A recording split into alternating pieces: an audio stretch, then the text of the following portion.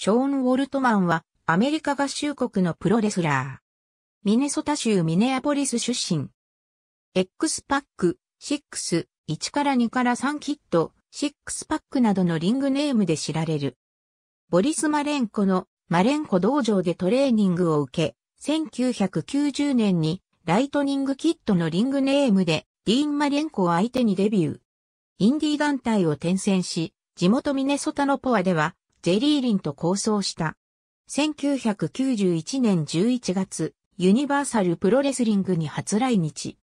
メキシコのルッチャリブレを主体とした同団体の中で、場外の相手へトップロープ上からダイビングニールキックを放つなどの独自性の高いスタイルで話題を呼んだ。1993年に WWF に入団、レーザーラモンから3カウントを奪って勝利したのを機に、1から2から3キットに改名。しかし当時の役割はジョバーであることがほとんどであった。1996年に WCW に移籍。MO に加入し、リングネームを6に改める。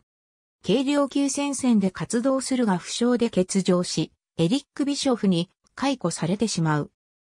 X パック時代1998年に WWF に復帰。リングネームを X パックとし、トリプル H 率いる第2次デラックスに加入。1999年にトリプル H が脱退し、ビンス・マクマホン率いるコーポレート入りしたため、実質的にリーダーとなる。その後、ケインとタッグチームを結成し、それまで心を持たない破壊マシーンだったケインの人間性を取り戻させるという友情ストーリーが展開されたが、ケインの初恋相手、通りを略奪し裏切るという愛憎劇に発展した。2000年に負傷し長期欠場に入るが2001年に復帰し、アルバート、ジャスティン・クレディブルと共に X ファクターを結成。しかし再び負傷欠場に、入りユニットは消滅。2002年に WWF で再結成されたグオーの新メンバーとして復帰。しかしブックを拒否したために同年に解雇される。ちなみに当時彼が所持していた WWF ライトヘビー級王座は WCW の買収で WWF 管理下になった WCW クルーザー級王座が WWE クルーザー級王座に解消されたことで消滅。最後の WWF ライトヘビー級王座となった。その後、権利の関係でリングネームをシックスパックに改名し、 TNA と契約。しかしライターであるビンス・ルッソと対立し退団。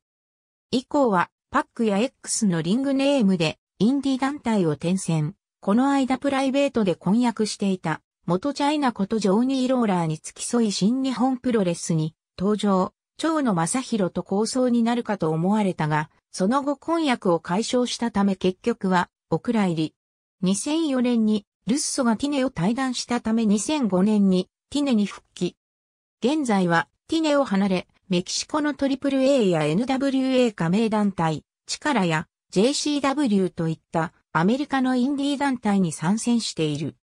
2012年7月23日、RAW 1000回記念放送において、ビリー・ガンロードドッグのニューエイジアウトローズと共に、1998年4月27日に WCW の会場を襲撃した戦闘用ジープに乗って登場した。最初に登場したデラックスメンバーのショーン・マイケルズやトリプル H とも久々に顔を合わせ、マイクパフォーマンスを行った。2019年、D ジェネレーション X として WWE 殿堂に迎えられ、翌2020年には MO としても WWE 殿堂入りを果たした。NWA ヘリテージ王者時代。ありがとうございます。